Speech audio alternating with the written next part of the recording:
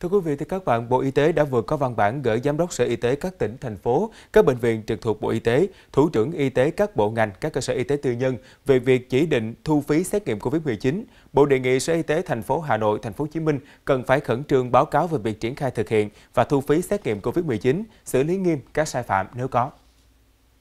Trước đó, vào ngày 10 tháng 10 năm 2021, các phương tiện truyền thông báo chí cũng đã đưa tin phí xét nghiệm COVID-19 còn đắt hơn tiền chạy thận tại thành phố Hồ Chí Minh và một số phản ánh về việc thu phí xét nghiệm COVID-19 trên địa bàn của thành phố Hà Nội. Bộ Y tế đã yêu cầu Sở Y tế thành phố Hà Nội, thành phố Hồ Chí Minh cần phải khẩn trương báo cáo về việc này, xử lý nghiêm các sai phạm nếu có tại các địa phương trước ngày 18 tháng 10 năm 2021. Bộ cũng đề nghị các địa phương trên cả nước nghiêm túc thực hiện đúng các hướng dẫn của Bộ Y tế về xét nghiệm COVID trong cơ sở khám chữa bệnh, không để tình trạng lạm dụng xét nghiệm tạo gánh nặng cho người bệnh, đặc biệt là người bệnh mạng tính phải điều trị dài ngày.